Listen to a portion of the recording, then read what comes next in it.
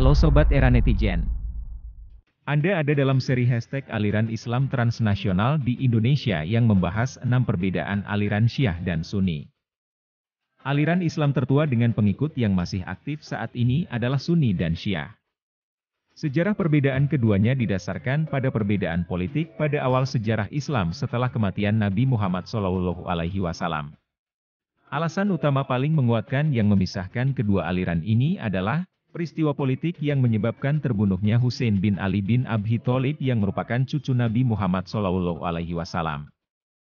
Perbedaan utama dua aliran Islam ini adalah soal politik, yang kemudian meluas seiring dengan tragedi-tragedi politik yang terjadi dan perkembangan ideologi serta konsep agama yang berkembang pada masing-masing pihak. Penganut Islam Sunni berpendapat bahwa penerus Nabi dapat dipilih lewat kesepakatan. Hal yang paling penting adalah mereka mengikuti sunnah Rasulullah. Sedangkan Islam Syiah meyakini hanya keturunan Nabi Muhammad yang pantas menjadi khalifah. Konflik yang berujung pada peperangan di antara keduanya pun masih berlangsung hingga sekarang, terutama di kawasan Timur Tengah dan ada beberapa yang terjadi di Indonesia.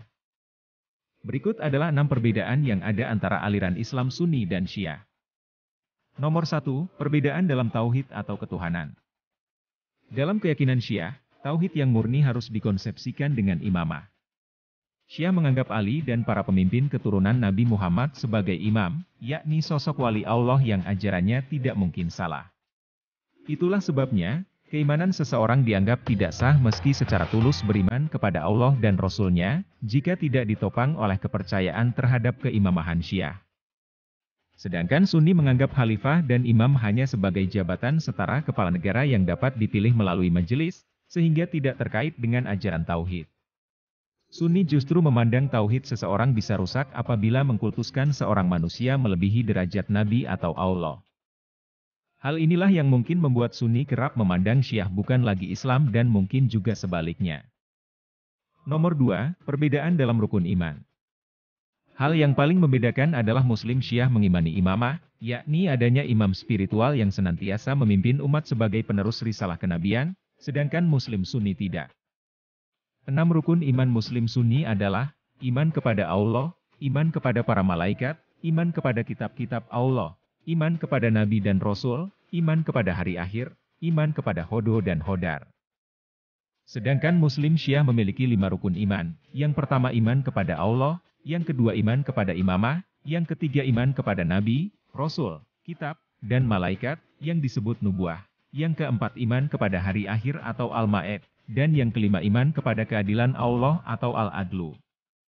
Nomor tiga, perbedaan dalam rukun Islam. Rukun Islam umat sunni adalah syahadat, solat, puasa, zakat, dan menunaikan haji. Sedangkan bagi muslim syiah, syahadat tidak termasuk dalam rukun Islam. Hanya saja, syahadat tetap harus diikrarkan ketika seseorang hendak memeluk Islam. Rukun Islam aliran Syiah adalah sholat, zakat, puasa, haji, dan wilayah.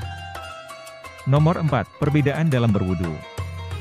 Dalam berwudu, Muslim Syiah mengikuti anjuran surah Al-Maidah ayat 6, yaitu membasuh muka dan kedua tangan hingga siku, mengusap rambut dan kedua punggung kaki.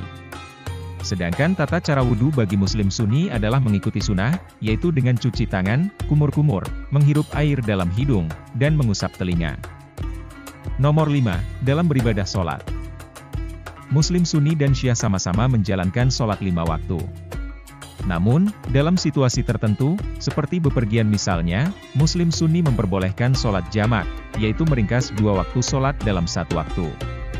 Selain itu, Muslim Sunni sering menempatkan sajadah untuk sholat dan jamaah laki-lakinya kerap mengenakan kopiah, sedangkan Muslim Syiah tidak.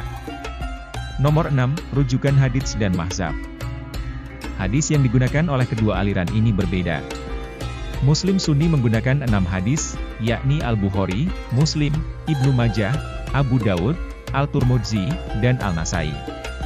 Selain itu, terdapat empat mazhab yang paling banyak diikuti oleh Muslim Sunni, yaitu Hanafi, Maliki, Syafi'i, dan Hambali. Sedangkan Muslim Syiah hanya menggunakan empat hadis dan memiliki tiga mazhab utama, yaitu Zaidi, Ismaili, dan Asyariyah.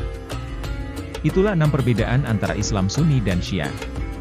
Sebagai bangsa Indonesia yang memiliki jargon Bhinneka Tunggal Ika, kita harus tetap damai atas adanya perbedaan tersebut. Terima kasih telah menonton. Jika ada koreksi atau komentar, silahkan sampaikan di kolom komentar. Jangan lupa like dan subscribe channel ini agar semakin pintar dan bahagia. Bagikan juga konten ini agar bermanfaat ke banyak orang.